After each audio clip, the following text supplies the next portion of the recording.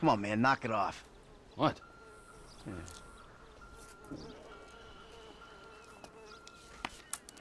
I'm gonna break your fucking fingers you don't knock that shit off. Well, please, all right? You'd alleviate the boredom. Ah, finally.